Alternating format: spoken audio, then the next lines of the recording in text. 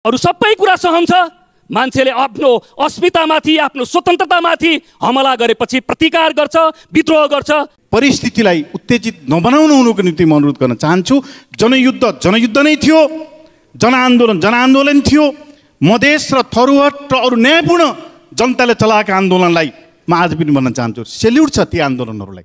संविधानको भन्दा पहिला दुई हजार पचहत्तर साल जेठ तिन गते एकता सम्पन्न भएपछि सोही मितिमा आयोजित नेकपा केन्द्रीय समितिको प्रथम बैठकबाट पारित राजनीतिक प्रतिवेदनको बुदा नम्बर आठ पोइन्ट दुई कम्युनिस्ट आन्दोलनका गौरवशाली आठ अडसट्ठी वर्षहरू भन्ने शीर्षकमा भूपृष्ठ पैँतिसमा दोस्रो हरफमा के कुरा लेखिएको छ भने नेपालको ठोस परिस्थितिमा राजनीतिक र फौजी रणनीतिको विशिष्ट सन्तुलन कायम गर्दै कमरेड प्रचण्ड नेतृत्वमा नेकपा माओवादीले दुई हजार बाहन्न साल फागुन एक गतेदेखि जनयुद्धको पहल गर्यो।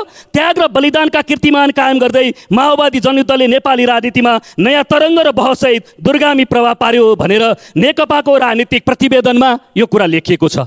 यसमा कमरेड केपी ओली र कमरेड प्रचण्डले हस्ताक्षर गर्नुभएको छ र कमरेड योगेश भट्टराई पनि यही केन्द्रीय समितिमा हुनुहुन्थ्यो म पनि त्यही केन्द्रीय समितिमा थिएँ यो दस्तावेजलाई त्यसबेला नेकपा हुँदा स्वीकार गरिने। त्यसकारण म दोहोऱ्याएर भन्न चाहन्छु सवाल शब्द के हो छोडिदिउँ।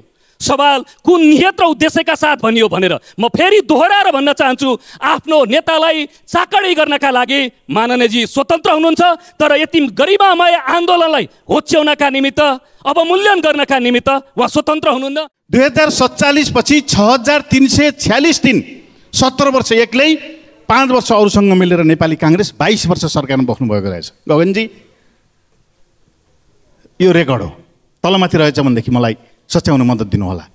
दुई हजार सत्तालिसपछि दुई हजार छ सय चौन्न दिन झन्डै सात वर्षभन्दा बढी एक्लै सोह्र वर्ष अरूसँग मिलेर एमाले सरकार चलाएको रहेछ। यो हिसाब रेकर्ड लिएर बसेको प्रतिपक्ष हो। दुई हजार सत्तालिसपछि चार वर्ष आठ महिना अरूसँग गर्दा नौ वर्ष माओवादी पनि सरकारमा छ। को कोले के के गरौँ? रेकर्ड लिएर हामी बसेका छौँ। हामी पनि यही राजनीतिमा यही प्रणालीमा यही प्रक्रियामा कुरो बुझेर बसेका छौँ। कमरेड योगेश भट्टराईलाई आफ्नो नेतृत्वलाई चाकडी गर्ने स्वतन्त्रता छ। जनयुद्धका बारेमा विरोध गर्नका निमित्त उहाँहरूका बैठक भेला प्रशिक्षण सबैतिर उहाँलाई स्वतन्त्रता छ। तर संविधानले नेपालको यो संविधानले के भन्दछ भने जनयुद्धलाई सशस्त्र सङ्घर्ष भन्छ। सङ्घर्ष भनेको त्यो वीरत्वको गाथा हो। सङ्घर्ष भनेको त्यो ओजपूर्ण हो। त्यसले कहीँ न कहीँ एउटा ओजको गरिमा बोकेको हुन्छ। त्रिसठी दुई हजार त्रिसठी माघ एकमा अन्तरिम संविधानको घोषणा भएको थियो। अन्तरिम संविधानको घोषणा हुँदा वृहत शान्ति सम्झौतामा हस्ताक्षर हुँदा सात दल र माओवादी बिचको सहमति हुँदा नेपालको संविधान घोषणा हुँदा दुई हजार बहत्तरमा? अस्ति।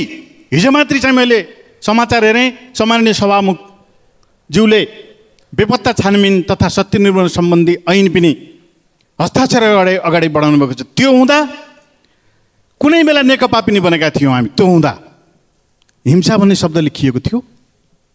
म प्रश्न गर्न चाहन्छु सम्मानीय सभामुख महोदय। हिंसा भन्ने काहीँ पनि लेखिएको थिएन। कि त नेकपा एमालेका मान्यजीहरू तपाईँहरू मित्र हुनुहुन्छ। यो फिर्ता लिएको सिग्नेचर सुकेको छैन। फिर्ता लिएको तपाईँहरूले घोषणा गर्नुहोस्। होइन भनेदेखि शान्ति प्रक्रियालाई अगाडि बढाउनको निम्ति तपाईँहरूको पनि हात छ। सिधा सिधा प्राधिकरणका दुईजना सञ्चालकले त्यसो गर्नु हुँदैन बकैता उठाउनु पर्छ भन्दा अपदस्थ गरेको होइन। त्यो महान कार्य हो भनेर आई लभ यु केपी बा भनिदिनु पर्ने हामीले। आइएम विथ केपी ओली भनिदिनु पर्ने हामीले। त्यो अपेक्षा गरेको हो भने नगर्नुहोस्। हामी त्यसो गर्न सक्दैनौँ। हजार वर्षसम्म पनि नेपालमा र संसारभरिमै कुनै पनि एउटा विज्ञले इतिहास लेख्यो भने जनताले चलाएको आन्दोलनलाई जनयुद्ध भनेर लेख्नेछ। यहाँहरूले यो शब्द कन्जुसाइ किन गर्नु परेको? तर संविधान संशोधन अग्रगमनतिर हुनुपर्छ प्रतिगमनतिर होइन। दोहोऱ्याएर ठुलो आवाजमा भन्न चाहन्छु संविधान गतिशील दस्तावेज हो यो परिवर्तनशील छ तर प्रतिगमनतिर होइन अग्रगमनतिर। टुणी खेलमा गिरफ्तार भएका युवाहरूले कुनै अपराध गरेका छैनन्। नेपाली कङ्ग्रेसको गृहमन्त्री हुन्छ शालीन व्यक्तित्व। गोपीकृष्ण दीपक र रामबहादुरले कसैलाई हात हालेका छैनन् कसैमाथि हमला गरेका छैनन् कसैको बारेमा नारा लगाए। यति हो। भिडियो फुटेज हेरियोस्। गिरफ्तार नगरियोस् त्यसको आधारमा रिहा गरियोस्। जनताले लडेर ल्याएको यो व्यवस्थालाई जनताले प्रयोग गर्न पाउने नैतिक र नैसर्गिक अधिकार जनतामा अन्तर्निहित छ। जनता नै सार्वभौम सात सालमा आन्दोलन भएको थियो। लखन थापा शहीद हुनुभयो। हामीले शहीद मानेका छौँ सम्माननीय सभामुखमध्ये। पञ्चायत विरोधी आन्दोलन भएको थियो।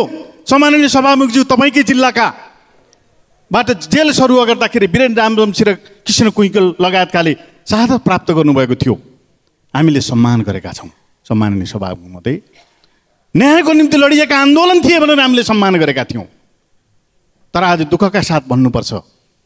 ऐतिहासिक जनयुद्ध जुन जनयुद्धमा दिलबहादुर रम्तेलले आँगनमा स्कुलको आँगनमा रगत बगाए। कसका छोराछोरी थिए? सम्माननीय सभाको मध्य कृष्णसेन इच्छुक कविता पढ्नु होला मान्यज्यूहरू। उहाँ कविता लेख्ने हुनुहुन्थ्यो। उहाँलाई हत्या गरियो। उहाँ को हुनुहुन्थ्यो? एकजना एउटा जिल्लाको आमा हुनुहुन्थ्यो। उहाँ आमाले चारजना आफ्ना सन्तानहरू बलिदान गरेर अन्तिममा के भन्नुभयो भने मैले पोस्टर हेर्ने बाबु मृत्यु अथवा मुक्ति भन्ने लेखिएको रहेछ। म तपाईँहरूसँगै हिँड्छु। बाँचे भने मुक्ति मरे भने मृत्यु भनेर सँगै हिँडेर उहाँले पछि उहाँले पनि साधक प्राप्त गर्नुभयो। विद्युत प्राधिकरणले आजको अहिलेको चाहिँ डेटा हेर्नुभयो भने दैनिक तेह्र करोड एघार लाखको विद्युत निर्यात गरेको छ। लोड सेडिङ अन्तको घोषणा गरेको छ। होला कुनै दूर दराजमा पुग्न बाँकी रहेको होला। यसैमाथि आज पनि टोकेको छ भोलि पनि टोकेको छ पर्सि पनि टोकेको छ। के गरेर खोज्नुभयो हो? एक सय अठहत्तरले महसुल बुझाइसकेका छन्। सम्माननीय सभाको मधै रेकर्ड ल्याएर हेर्नुहोला बाँकी एकसट्ठी उद्योगहरूले बकौता बुझाउन बाँकी छ। मान्यजीहरूको ध्यान आकर्षण म गराउन चाहन्छु। र मैले फेरि पनि इफ बट किन्तु परन्तु केही नभनिकन एकसट्ठी उद्योग उद्योगपतिको विरोध गरेको हामीले होइन। एकसट्ठीवटा उद्योगहरूको बकौता तिर्नुपर्छ। पूर्व प्रधानमन्त्रीले केही कुरा नतिर्नको निम्ति भन्नुभएको छ भनेदेखि छाती खोलेर बहस गर्न म पनि तयार छु। यो हो अनमोल मिडिया युट्युब च्यानल। जानकारीमूलक तथा रमाइला भिडियोहरूका लागि कृपया च्यानललाई सब्सक्राइब गर्न नभुल्नुहोला। सम्मान्य सभामुख महोदय नेपाली समाजमा यति बेला विचारको बहस र छलफल निकै गम्भीर रूपमा खडेरी जस्तो देखा परेको छ। त्योभन्दा ज्यादा खडेरी विचार र मुद्दाको बहस हाम्रो संसदभित्र छ। सिङ्गै समाजलाई कसरी बहसमा केन्द्रित गराउने भनेर नेतृत्व लिनुपर्ने संसद बरालिएको छ। अहिले सत्तापक्षका मान्यजीहरूले सबैले राख्नुभयो। हामीले त के अपेक्षा गरेका थियौँ भने विपक्षी दलको नेताले राख्नुभएका प्रश्न किनभने विपक्षी दल भनेको यो संसदको र यो राज्य व्यवस्थाको वाचडक हो। त्यसले खबरदारी गर्छ ध्यान आकर्षण गराउँछ व्यथितिका विरुद्ध सङ्घर्ष गर्छ। ठिक त्यही गर्नुभएको हो विपक्षी दलको नेताले। तर प्रधानमन्त्रीले दिनुपर्ने जवाब भटाभट बाँडेर मान्यजीहरूले दिइराख्नु भएको छ त्यसका लागि पनि धन्यवादै छ। म मेरो हातमा कम्युनिस्ट पार्टीको एउटा घोषणापत्र छ। कम्युनिस्ट पार्टीको यो घोषणापत्रलाई नेपालीमा सबभन्दा पहिला नेकपाका संस्थापक पुष्पलाल श्रेष्ठले गर्नुभएको हो। यसको एउटा अंश यहाँ पढ्दा नै ज्यादा प्रभावकारी हुन्छ भन्ने मलाई लागेको छ। युरोपमा एउटा हाउ घुमिरहेको छ साम्यवादको हाउ। यस हाउलाई धपाउन भनेर पोप र जार मेटाखिन र जी गिजोले फ्रेन्च उग्रवादी र जर्मन पुलिस अर्थात् पुरानो युरोपका सारा सत्ताधारीहरू एक भएका छन्।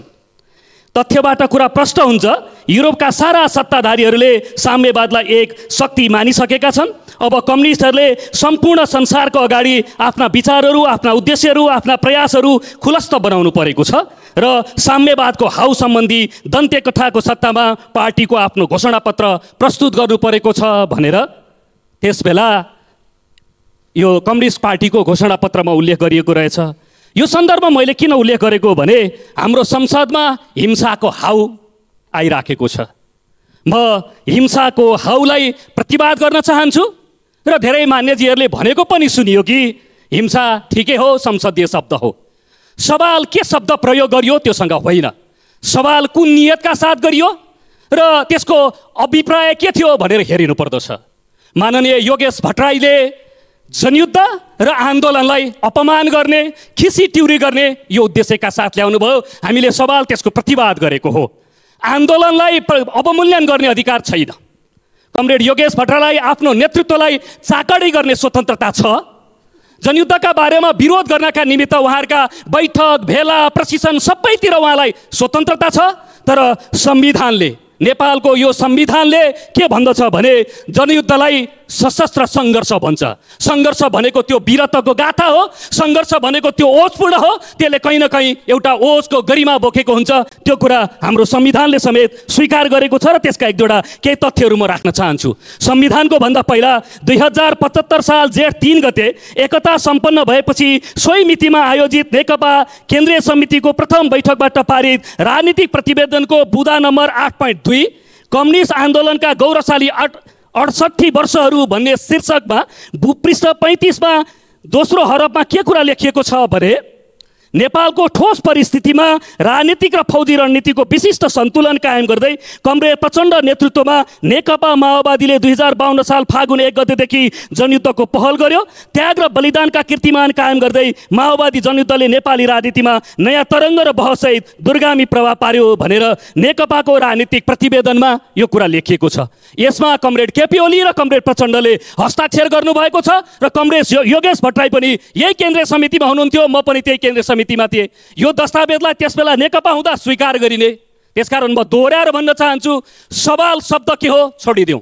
सवाल कुन नियत र उद्देश्यका साथ भनियो भनेर म फेरि दोहोऱ्याएर भन्न चाहन्छु आफ्नो नेतालाई चाकडी गर्नका लागि माननीयजी स्वतन्त्र हुनुहुन्छ तर यति गरिमामय आन्दोलनलाई होच्याउनका निमित्त अवमूल्यन गर्नका निमित्त उहाँ स्वतन्त्र हुनुहुन्न उहाँका पार्टीहरूमा गर्नुहोस्। किनभने संविधानमा अर्को कुरा के छ भने संविधानको धारा बयालिसमा अर्को एउटा कुरा छ। म त्यो पनि वाचन गर्ने अनुमति चाहन्छु।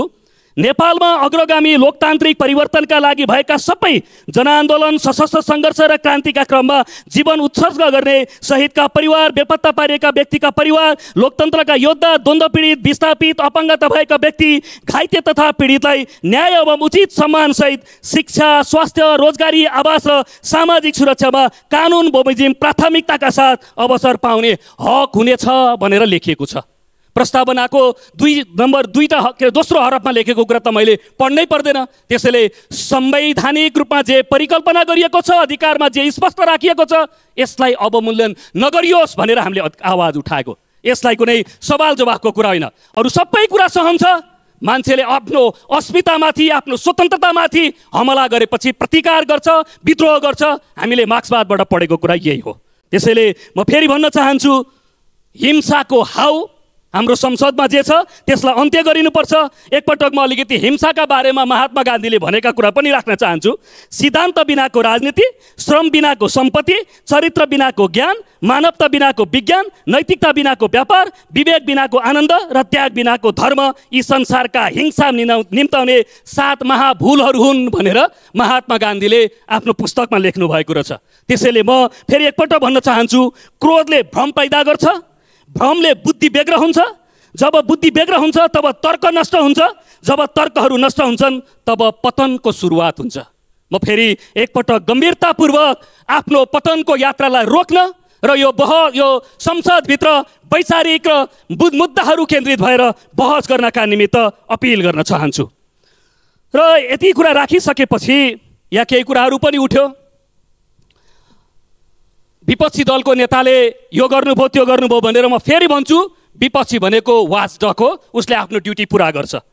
आलोचना सुन्ने विरोध सुन्ने धैर्यता राख्नुहोस्। तपाईँहरूले गल्ती गर्नुभएको छ सिधा सिधा प्राधिकरणका दुईजना सञ्चालकले यसो गर्नु हुँदैन बकैता उठाउनुपर्छ भन्दा अपदस्थ गरेको होइन। त्यो महान कार्य हो भनेर आई लभ यु केपी बा भनिदिनु पर्ने हामीले। आइएम विथ केपी ओली भनिदिनु पर्ने हामीले।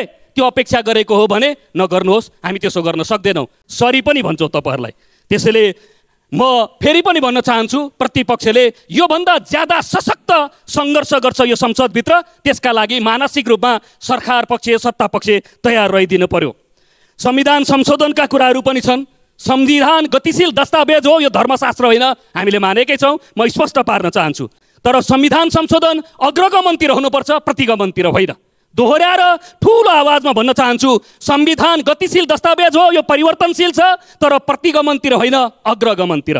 हामीले यही भनिराखेका थियौँ। आजै नेकपा एमालेका मान्य सांसद किरणजीले भन्नुभयो संविधानको धारा चारको मर्म विपरीत उहाँहरूले धर्मनिरपेक्षता खारेज गर्ने प्रस्ताव गर्नुभयो। यो गम्भीर विषय हो।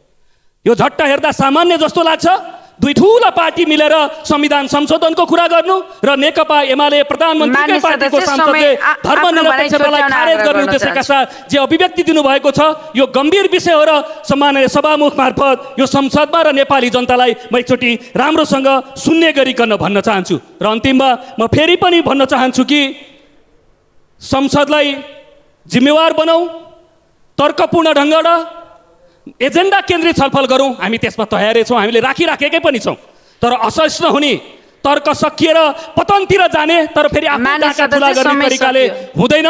म गम्भीरतापूर्वक भन्न चाहन्छु कि तर्कहरूद्वारा आफ्ना विषयहरूलाई स्पष्ट रूपमा राख्नका लागि मेहनत गरौँ। समयका लागि धन्यवाद लाल सलाम। सम्माननीय सभामुख महोदय विषय राख्ने अनुमति दिनुभएकोमा म आभार व्यक्त गर्न चाहन्छु। नेपाल विद्युत प्राधिकरणले दुई सय उन्चालिस औद्योगिक र व्यापारिक गैर व्यापारिक ग्राहकलाई प्रिमियम शुल्क तिर्ने गरी डेडिकेटेड ट्रङ्क लाइन मार्फत दैनिक बिस घन्टासम्म बढी विद्युत सुविधा दिएको थियो। सम्माननीय सभामुख महोदय इफ बट इन्टु परन्तु केही पनि चाहिएको छैन। एक सय अठहत्तरले महसुल बुझाइसकेका छन्। सम्माननीय सभामुख महोदय रेकर्ड ल्याएर हेर्नुहोला। बाँकी एकसट्ठी उद्योगहरूले बकौता बुझाउन बाँकी छ। मान्यजीहरूको ध्यान आकर्षण म गराउन चाहन्छु। र मैले फेरि पनि इफ बट किन्तु परन्तु केही नभनिकन एकसट्ठी उद्योग उद्योगपतिको विरोध गरेको हामीले होइन। एकसट्ठीवटा उद्योगहरूको बकौता तिर्नुपर्छ। पूर्व प्रधानमन्त्रीले केही कुरा नतिर्नको निम्ति भन्नुभएको छ भनेदेखि छाती खोलेर बहस गर्न म पनि तयार छु हामी पनि तयार छौँ। सम्माननीय सभामुज्यू किनभनेदेखि मैले डेटा पेस गर्न चाहन्छु आजभन्दा आठ वर्ष पहिले सम्माननीय सभामुख महोदय हिउँदमा नौ घन्टा के अरे हिउँदमा अठार घन्टा बर्खामा नौ घन्टा लोड सेडिङमा थियौँ। विद्युत प्राधिकरणले आजको अहिलेको चाहिँ डेटा हेर्नुभयो भने दैनिक तेह्र करोड एघार लाखको विद्युत निर्यात गरेको छ। लोड सेडिङ अन्तको घोषणा गरेको छ। होला कुनै दूर दराजमा पुग्न बाँकी रहेको होला। यसैमाथि आज पनि टोकेको छ भोलि पनि टोकेको छ पर्सि पनि टोकेको छ। के गर्न खोज्नुभयो हो? म भन्न चाहन्छु ध्यान नेपाल वायु सेवा निगमतिर जाओस्। चारवटा जहाज ग्राउन्डेड भइसकेका छन्। आठ हजार आठ सय यात्रीहरू अल्पत परेका छन्। मान्यजीहरू यतापट्टि तपाईँहरूको ध्यान दिएर सरकारलाई ध्यान आकर्षण गराउनु होला। दूरसञ्चार radio Nepal Nepal television oil निगम त्रिभुवन विश्वविद्यालयका अस्तिका झमेलाहरू सुधार्नको निम्ति सम्माननीय प्रधानमन्त्रीलाई तपाईँले सुझाव दिनुहोस्।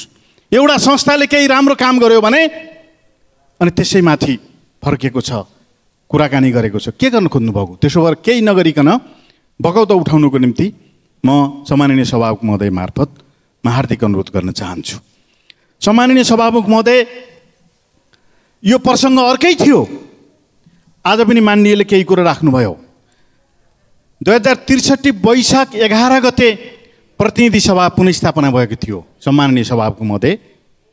त्रिसठी दुई हजार त्रिसठी माघ एकमा अन्तरिम संविधानको घोषणा भएको थियो। अन्तरिम संविधानको घोषणा हुँदा वृहत शान्ति सम्झौतामा हस्ताक्षर हुँदा सात दल र माओवादी बिचको सहमति हुँदा नेपालको संविधान घोषणा हुँदा दुई हजार बहत्तरमा अस्ति हिजो मात्रै चाहिँ मैले समाचार हेरेँ सम्माननीय सभामुखज्यूले बेपत्ता छानबिन तथा सत्य निर्माण सम्बन्धी ऐन पनि हस्ताक्षर अगाडि अगाडि बढाउनु भएको छ। त्यो हुँदा कुनै बेला नेकपा पनि बनेका थियौँ हामी। त्यो हुँदा हिंसा भन्ने शब्द लेखिएको थियो। म प्रश्न गर्न चाहन्छु सम्मानीय सभामुख महोदय। हिंसा भन्ने काहीँ पनि लेखिएको थिएन। कि त नेकपा एमालेका मान्यजीहरू तपाईँहरू मित्र हुनुहुन्छ? यो फिर्ता लिएको सिग्नेचर सुकेको छैन? फिर्ता लिएको तपाईँले घोषणा गर्नुहोस्। होइन भनेदेखि शान्ति प्रक्रियालाई अगाडि बढाउनको निम्ति तपाईँहरूको पनि हात छ। तपाईँहरूले पनि शब्द बोलेर अगाडि बढ्ने कुरा हाम्रो अहिलेको प्रचलित कानुनले स्वीकृति दिँदैन सम्मानित सभामुख महोदय आन्दोलन भएको थियो। सात सालमा आन्दोलन भएको थियो। लखन थापा शहीद हुनुभयो। हामीले शहीद मानेका छौँ सम्माननीय सभामुख महोदय। पञ्चायत विरोधी आन्दोलन भएको थियो। सम्माननीय सभामुखज्यू तपाईँकै जिल्लाका बाट जेल सरुवा गर्दाखेरि वीरेन्द्र र कृष्ण कुइकल लगायतकाले शहादत प्राप्त गर्नुभएको थियो। हामीले सम्मान गरेका छौँ सम्माननीय सभामुख महोदय। न्यायको निम्ति लडिएका आन्दोलन थिए भनेर हामीले सम्मान गरेका थियौँ। तर आज दुःखका साथ भन्नुपर्छ। ऐतिहासिक जनयुद्ध जुन जनयुद्धमा दिलबहादुर रम्तेलले आँगनमा स्कुलको आँगनमा रगत बगाए कसका छोराछोरी थिए? सम्माननीय सभामुख महोदय। कृष्णसेन इच्छुक कविता पढ्नु होला मान्यज्यूहरू। उहाँ कविता लेख्ने हुनुहुन्थ्यो। उहाँलाई हत्या गरियो। उहाँ को हुनुहुन्थ्यो? एकजना एउटा जिल्लाको आमा हुनुहुन्थ्यो। उहाँ आमाले चारजना आफ्ना सन्तानहरू बलिदान गरेर अन्तिममा के भन्नुभयो भने मैले पोस्टर हेर्ने बाबु मृत्यु अथवा मुक्ति भन्ने लेखिएको रहेछ। म तपाईँहरूसँगै हिँड्छु। बाँचे भने मुक्ति मरे भने मृत्यु भनेर सँगै हिँडेर उहाँले पछि उहाँले पनि साधत प्राप्त गर्नुभयो। मैले यो दृष्टान्त किन सुनाउन चाहेको भने सम्माननीय सभामुख महोदय अनमिनको रेकर्ड हाम्रो शान्ति मन्त्रालय अहिले छैन। शान्ति मन्त्रालयले राखेको रेकर्ड हाम्रा मन्त्रालयमा यदि छैन भने अनमिनको रेकर्डमा आएर मान्यजीहरूलाई सम्माननीय सभामुखले दिनुहोला। अनमिनले प्रमाणित गरेका र बाहिर निकालिएका छोराछोरीहरू कसका छोराछोरी थिए? जनताका छोराछोरी थिए कि थिएनन्? जनताका छोराछोरीले लडेको युद्ध हो कि होइन? त्यसो भएर बेला बखत चाहिँ हामी यत्र आन्दोलनबाट सँगै आइसकेपछि मैले कसैलाई पनि उपदेश दिन खोजेको होइन सम्माननीय सभामुखमध्ये? छाती ठुलो बनाउनुको निम्ति अनुरोध गर्न खोजेको। हामी सँगै यात्रा गरेर अगाडि बढेका हौँ। मान्यज्यूहरू यहाँ हुनुहुन्छ। सडकमा तपाईँहरू हुँदा सडकमा थियौँ जेलमा हुँदा हामी जेलमा थियौँ। सबै अनुभूति हामीसित पनि छ। त्यसो भएको हुँदाखेरि शब्दहरू प्रयोग गर्दाखेरि ख्याल गरेर प्रयोग गर्नुको निम्ति म अनुरोध गर्न चाहन्छु। अनुरोध गर्न चाहन्छु। अनुरोध स्वीकार्ने नस्वीकार्ने कुरा यहाँको कुरा हो। र अहिले भर्खरै मान्यले कुरो राख्नुभयो हिसाब हामीलाई पनि छ। यो हिसाब मैले आज संयोगले यहाँ सुनाउन चाहेँ। दुई हजार सत्तालिसपछि छ हजार तिन सय छ्यालिस दिन सत्र वर्ष एक्लै पाँच वर्ष अरूसँग मिलेर नेपाली काङ्ग्रेस बाइस वर्ष सरकारमा बस्नुभएको रहेछ। गगनजी यो रेकर्ड हो। तलमाथि रहेछ भनेदेखि मलाई सच्याउन मद्दत दिनुहोला। दुई हजार सत्तालिसपछि दुई हजार छ सय चौन्न दिन झन्डै सात वर्षभन्दा बढी एक्लै सोह्र वर्ष अरूसँग मिलेर एमाले सरकार चलाएको रहेछ। यो हिसाब रेकर्ड लिएर बसेको प्रतिपक्ष हो। दुई हजार सत्तालिसपछि चार वर्ष आठ महिना अरूसँग गर्दा नौ वर्ष माओवादी पनि सरकारमा छ। को कोले के के गरौँ रेकर्ड लिएर हामी बसेका छौँ। हामी पनि यही राजनीतिमा यही प्रणालीमा यही प्रक्रियामा कुरो बुझेर बसेका छौँ।